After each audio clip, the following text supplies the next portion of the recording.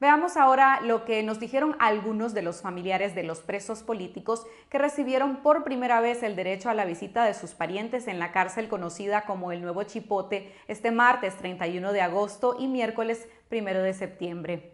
Conversamos con Ana María Chamorro, la hermana del precandidato presidencial Juan Sebastián Chamorro, y con Óscar Telles, hermano de Dora María Telles, dirigente opositora de la Unión Democrática Renovadora UNAMOS.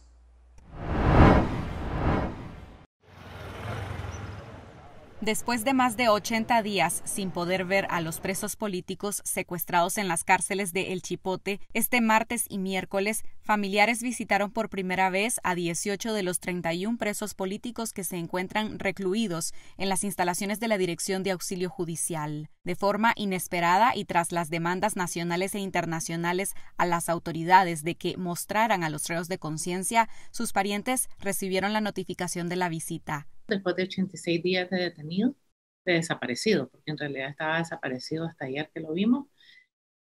Eh, nos avisaron en la mañana que teníamos visita a las 10 de la mañana. Las visitas se dieron en medio de un fuerte despliegue policial y grabaciones a la entrada y la salida.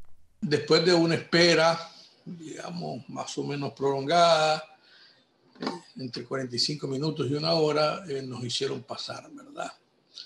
Bajo estrictas medidas antes de entrar a la reunión con ella, eh, estaba un joven con una de esas chaquetas negras, creo que era como de la policía técnica, ¿verdad? filmando eh, la escena. Había muchos policías, muchos antimotines por todos lados. En la entrada de la recepción, eh, cuando entré en mi cédula, habían policías grabando. Después me hicieron esperar y subí al, al área de visitas y igual muchos antimotines eh, cuando entré a un cuartito, ahí estaba Juan sentado, igual la policía con cámaras filmando, lo abracé eh, y después de unos minutos nos dejaron solos. Los estragos físicos del encarcelamiento son notorios en todos los reos políticos, aseguran sus familiares. Entramos, conversamos primero de su salud física y mental. Esa fue la primera parte de la conversación.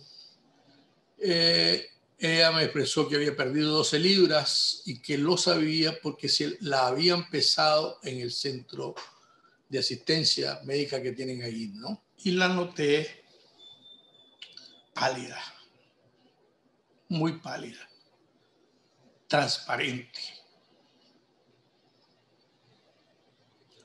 Entonces se lo dije. Sí, me dice. ¿Recibí sol? No, una vez a la semana.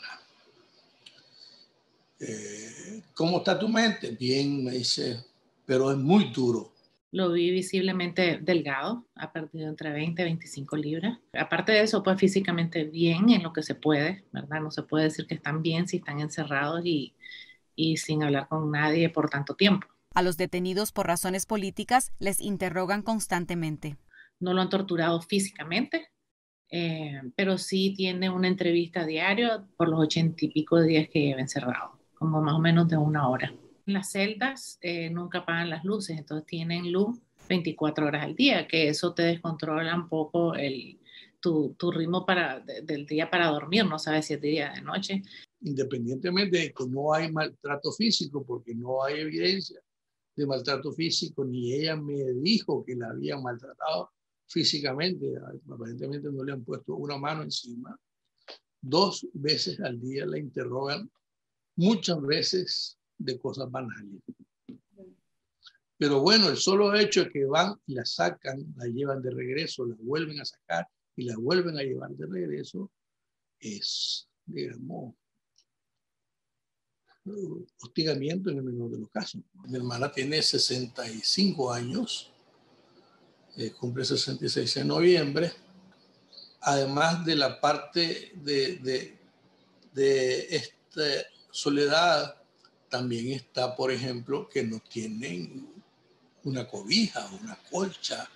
Además de otro tipo de malos tratos, Dora María Telles ha sido sometida a un régimen de confinamiento total. Está en una celda de 6x4, en donde hay unos camarotes de concreto y la colchoneta de ella porque ella está sola. Aunque yo no le toque a usted ni una pestaña y yo la encierro en un cuarto, y no le permito comunicación con nadie, eso es castigo extra al de ya estar detenido. Los presos políticos reciben comida adentro, pero sus familiares abogan porque les permitan el ingreso de algunos alimentos específicos según las dietas de cada uno debido a padecimientos de salud particulares. A pesar de todo, mantienen buen ánimo, dijeron sus parientes. Ella tiene muy buen ánimo, el ánimo no le ha decaído, ella sigue siendo la misma Dora María de toda su vida. Eh, posiblemente la parte más difícil es, digamos, ese régimen de castigo que es eh, la imposibilidad de comunicarse con los demás reos o con personas, pues, que no sean los guardas. Eh, y por supuesto la falta de sol, ¿verdad? Porque eso tiene una implicación directa sobre la salud, pues, frío, eh, la soledad, y la falta de, de sol les está afectando. Si se corrigieran esas cosas, pues sería, digamos, para bien de ellas. Parece que los van cambiando de, celda. Eh, ha estado acompañado en los últimos dos meses. Eh, lo veo bien, este es el mismo Juan de siempre, con, pues vivo sus ojos y todo, entonces eso me dio mucha paz y mucha tranquilidad. Aparte de, aparte de eso, me dijo que estaba muy fortalecido emocionalmente y espiritualmente, que eso me, me alegró muchísimo. La visita duró aproximadamente 30 minutos. No les informaron sobre cuándo podrían volver a visitarles. Algunos reos compartieron su experiencia y las irregularidades en las audiencias judiciales secretas, incluyendo la próxima, que será en el nuevo Chipote la llevaron a una audiencia en donde, según ella me explicó, le leyeron los cargos y a, insistencia constante de ella, eh, el juez le permitió ir a hablar y le señaló al juez la ilegalidad del proceso y le señaló al fiscal que no había presentado ni una sola prueba de la acusación que él estaba presentando y que no la habían confrontado con ninguna prueba, el fiscal solamente se quedó callado. Dice que lo llevaron a las 4 de la mañana las dos veces, ¿verdad? La primera para la detención y la segunda para la, para la, para la acusación. Y la próxima es un abogado. Sin presencia del abogado. Y si la, la siguiente dicen que la van a realizar ahí, en el nuevo chipote nuevo Chipote y sí notificaron a los abogados, pero no han tenido ninguna audiencia con ellos. Entonces, ¿cómo va a haber una audiencia de presentación de pruebas si ni siquiera han tenido una reunión con sus abogados? Las familias de los presos políticos demandan que se les respeten sus derechos. El respeto a la vida, el respeto a la salud mental, emocional y física de todos los presos políticos. La vida de ellos, la permanencia en prisión, los procesos judiciales, todos los procesos políticos dependen de la voluntad del presidente y de la vicepresidenta.